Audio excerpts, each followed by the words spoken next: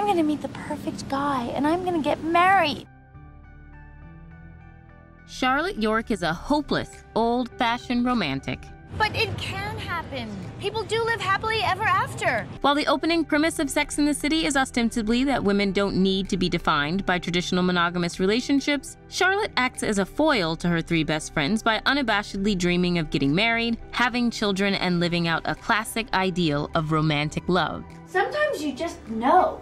With the right match, it's fate. On a show which initially seems to espouse a cynical view of love, this beacon of optimism acts as an important stand in for many viewers who can to this day identify with her conventional desire for a perfect looking fairy tale love. But if we look closer, much of the series is devoted to methodically disproving the various love myths that Charlotte believes in, like that finding your happily ever after means landing a perfect husband who will complete you, Everyone needs a man. That you'll be able to recognize this guy by his good looks or how much money he makes, and that you can only win him if you play by the rules. I thought you were serious about this guy. You can't sleep with him on the first date. Charlotte has to cure herself of her damaging romantic falsehoods I, I want to believe, but nothing is happening, and I just don't think it's working. before she can be ready to find the happiness she longs for. Meanwhile, witnessing this love re education might help viewers pay attention to what unhealthy myths we too may need to let go of. Here's our take on how, by showing how Charlotte is wrong about everything to do with love, but still right to believe in it, Sex and the City guides us to a deeper understanding of what romance is really all about. I think that having it all really means having someone special to share it with.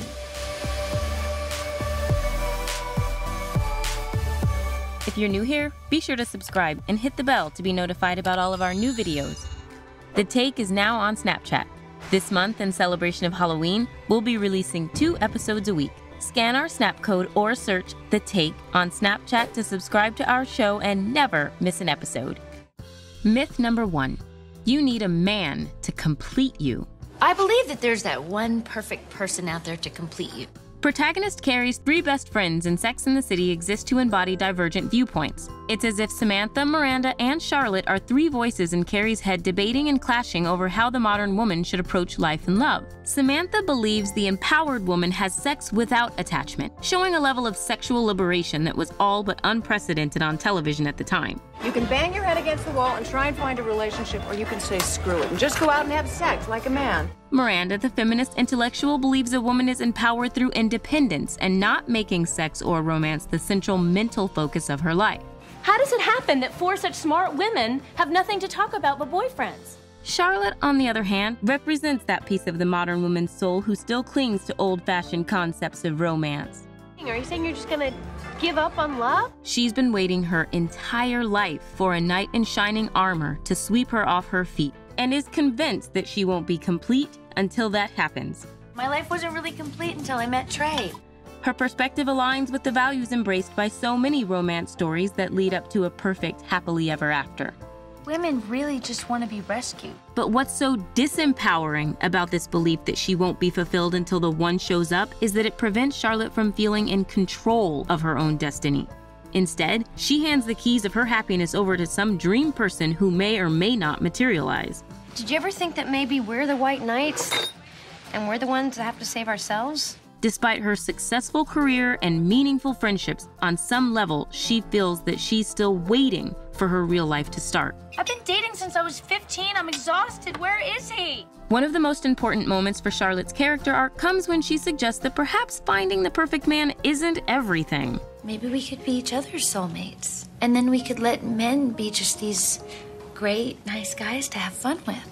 While Charlotte must go through a lot of ups and downs and flawed relationships before she can live according to this principle, she has glimmers of insight throughout the series that show her gradually understanding that she must take responsibility to complete herself. Well, you better get interested, or you're gonna end up all alone and with no mans. Well, maybe I am. And would that be the worst thing that could happen?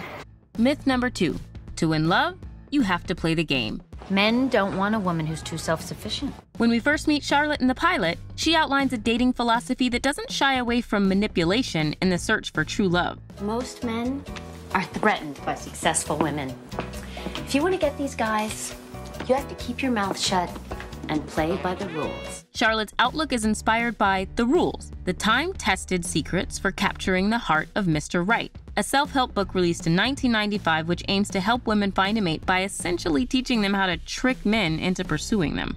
Much of its strategy is based on the assumptions that men like a woman who is hard to get. If you're serious about a guy, then you have to keep him in a holding pattern for at least five dates. And that modern dating life still boils down to the animalistic truth that men are the hunters and women are the prey. Throughout the series, Charlotte molds her personality to fit into this framework, attempting to appear elusive in order to always leave men wanting more. It's important to remain a creature of mystery. Some of Charlotte's rules about love are blatantly outlandish and weirdly specific. The number of dates that you wait to have sex with a man is directly proportional to your age. And the comic way they're presented encourages the audience to disagree with them, drawing our attention to the fact that no doubt we've heard or considered similar mantras in our own lives. It takes half the total time you went out with someone to get over them. Eventually, though, Charlotte's life disproves all her rules. Decades of following them doesn't get her what she wants, but after she abandons all of them by sleeping with Harry before even starting a relationship with him, this leads her to a true love. I think I may be falling in love with you. I've been falling for you since the moment we met. Myth number three men must see you as marriage material. In the early seasons of the show, Charlotte is overwhelmingly focused on how she is perceived by men. She believes that in order to find the perfect man, she must be seen as the perfect woman. It wasn't even a date. I didn't wash my hair and I wore my glasses. So, she makes her own desires secondary in favor of crafting an image of herself as demure, desirable, and virtuous. In one episode, when considering a particular sexual act, she spends more time focusing on how her partner will judge her if she does it than on contemplating whether it's actually something she's interested in. I, I, I want to, but I can't. I, I, I mean, actually, no, that's not true. I don't want to. Or maybe I do. I don't know what I want, but I'm afraid if I don't, then you'll dump me. Ultimately, her decision is made based on which choice she thinks will make her more marriageable. Men don't marry the up the butt girl. So it's only later in the series, once she lets herself focus on what she really wants, that Charlotte at last comes into her own. Myth number four the right man must meet a strict, superficial criteria. One of the things that holds Charlotte back most is her focus on superficial, external qualities in her search for a potential husband. Her dream man, her backup dream man. She believes that the only acceptable partner for her is wealthy, has a prestigious job, and is conventionally good looking. You fantasize a man with a Park Avenue apartment and a nice big stock portfolio. She also wants her future husband to come from a good family, with the subtext being that he needs to have had an upper class upbringing like she did. Honestly, I don't know how you can get serious with a guy whose entire future is based on tips. Even when she does meet a man who's expressly looking to get married and seems like a perfect match, she breaks up with him because they don't have the same taste in dinnerware. Charlotte broke it off then and there. It would never work. He was American classic, she was French country.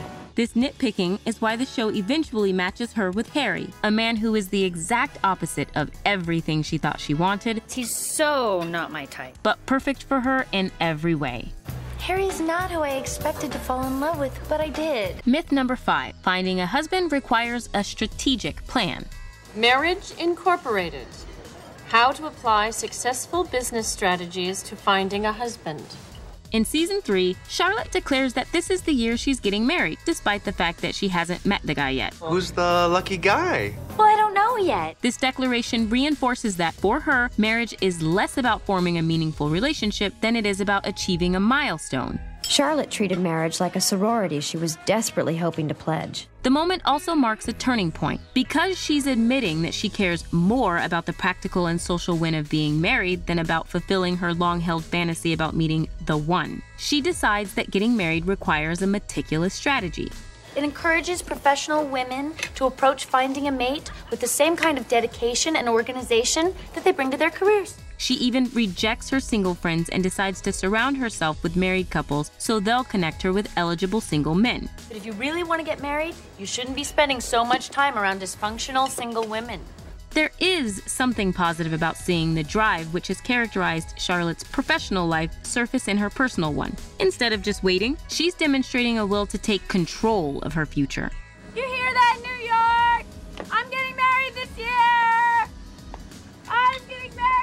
Still, her belief that she can force fate's hand is misguided. In reality, she meets her most significant partners through chance, proving that real love appears on its own timeline. Myth number six a relationship must follow a specific trajectory. When Charlotte meets Trey, she believes she has finally found the exact man she's been looking for since she was a teenager. Charlotte was spending all of her time with Trey, a doctor from family money who had it all. Not only does he meet her exacting criteria, but he also shows up via a classic romance movie meet cute, enhancing her belief that their union is meant to be. And there was Charlotte, lying in the middle of the street. And that's how we met. She deems him the one after just a few weeks of dating. He could really be the one. Charlotte, honey, you've only known him for two weeks. You you can know his email address. You cannot know he's the one. But Charlotte's fixation on her marriage plan backfires on her. She doesn't give herself time to really get to know Trey, so their relationship is founded only on flimsy external things in common. She loves that he comes from a good family, but finds that she loathes his snobby and overbearing mother.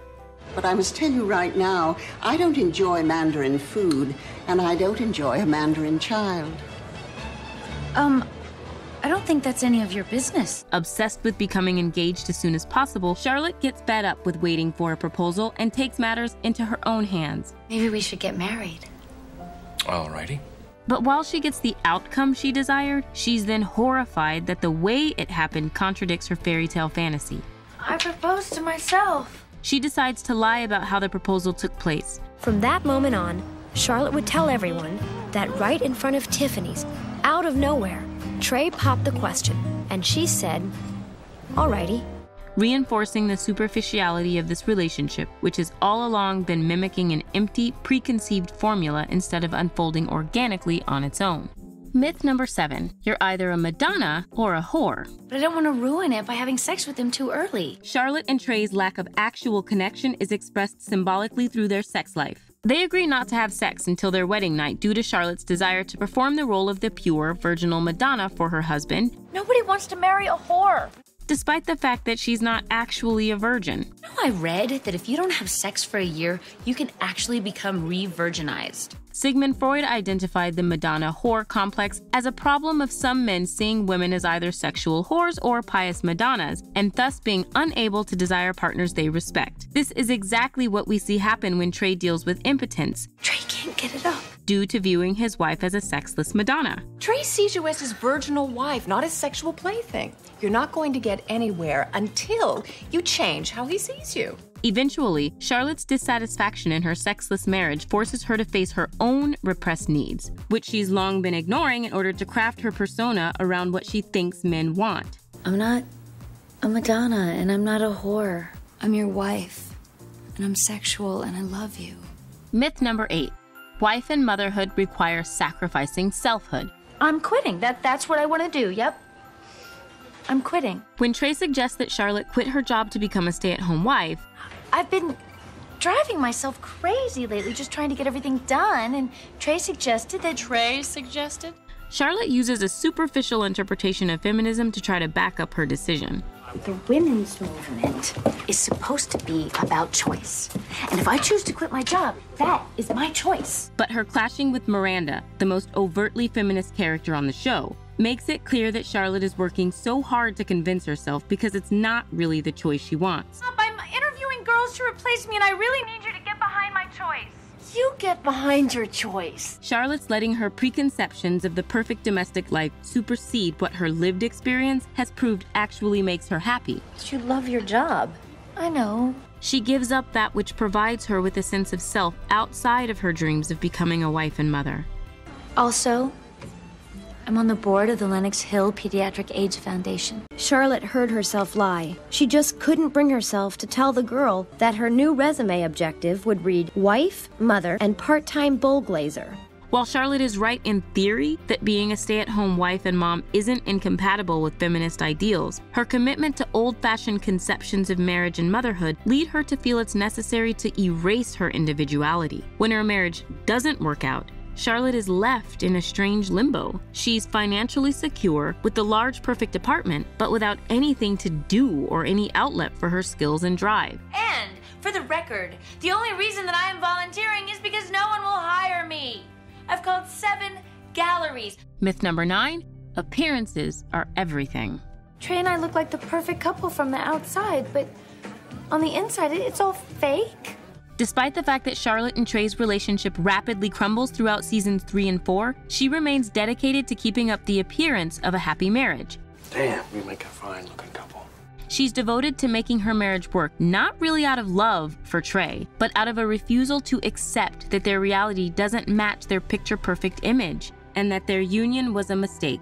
Well, I was afraid you'd just say you told me so, and then I should never have gotten married so quickly. By the time House and Garden magazine comes to do a feature on their home, the couple is separated and headed for divorce, but Charlotte still poses with him for the photo shoot rather than appearing in the piece alone as a single woman. This moment captures Charlotte's long standing impulse to cling to the illusion of a perfect relationship even when the real thing doesn't exist. But all over America, little girls in their mother's pearls saw the picture and thought, that's what I want.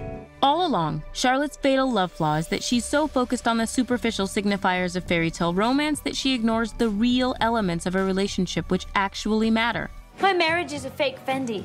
So when she finds herself drawn to her divorce lawyer, Harry, this attraction is a challenge to all of the love myths that have long governed her dating life. But he's bald and, and short and he talks with his mouth full. Unlike Trey, who only looked good from the outside, Harry appears embarrassing in Charlotte's eyes. Nothing like her expectations for what her perfect man should be like.